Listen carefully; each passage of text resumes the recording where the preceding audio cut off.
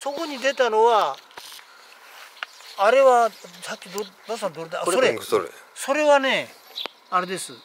あこのお親どここどこ行った？目目の前に。これこれこえ？目の前に親がいる。ああでで。それそれがこれ。これが親。これが親ね、うん。それしてこれはどっから来たかわからんけど不法侵入者。これカラマツこれこれねもう一個は？これここにある。これこれこれこれ。これこれカラマツです。これね。あでこれもカラマツ。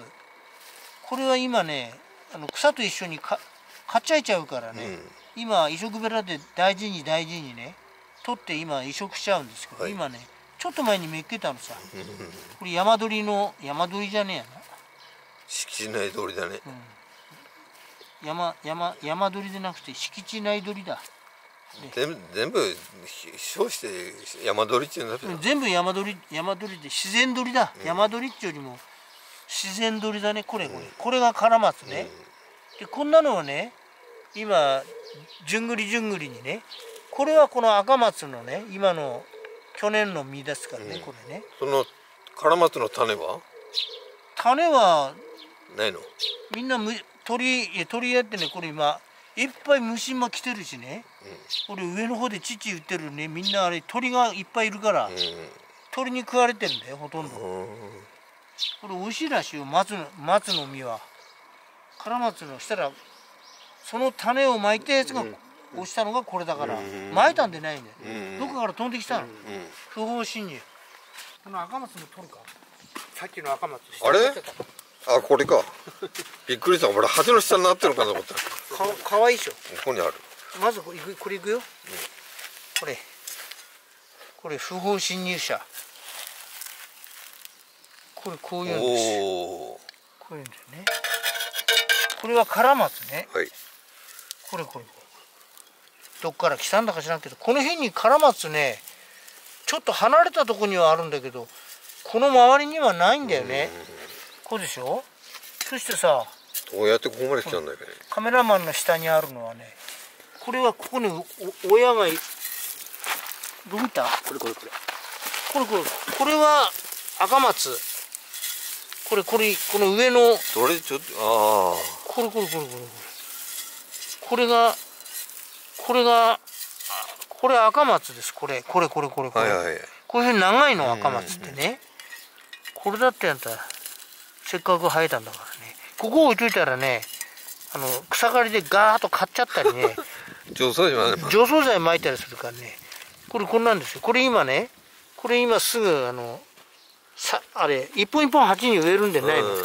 あの差し床ってあるでしょ、はい。あそこにさっと入れちゃうとね、うん、入れちゃうんですよ。こうやって。で現場近く植える時に泥を落としてね、これこんなの。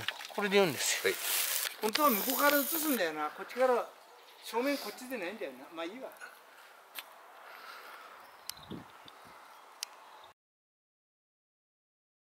おおこれはねうんこれカラマツこれあの何十年も経ったやつに、うんやつなんだけど頭ぶった切って横へ出したやつあるでしょ、それになったと思うでしょ、うんところが違うんですよあ違うのかい違うんですよ違うんですよこれこれこれあこれカラマツの大木のね、枝の先にこういうねあうん。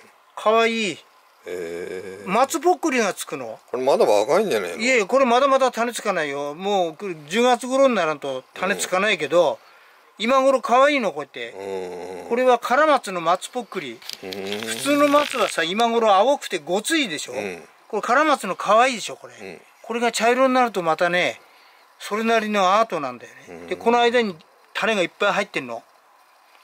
これ。種が落ちてさっきあのあ飛んできたやついるでしあょ？なるほどね。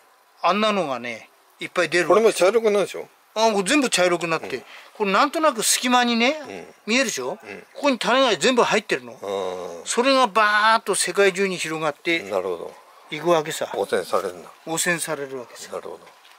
はいこれはあれです。差し床にね、はい。どこだ？こっちだこれはねさっきのねカラマツ、これ。これもカラマツ。あれなんだよ。あのああなるほどね。落ちてたやつだよ。あそうかい？これも落ちてたやつ。これだいぶ大きくなったんこれ。これね。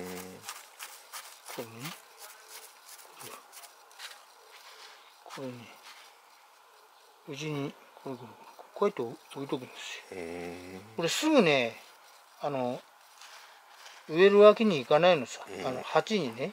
うん。ちょっとでも乾いたら傷むからさ。これこれこういうこんなんだこうやって。こうやって入れとくの。あれ？あ。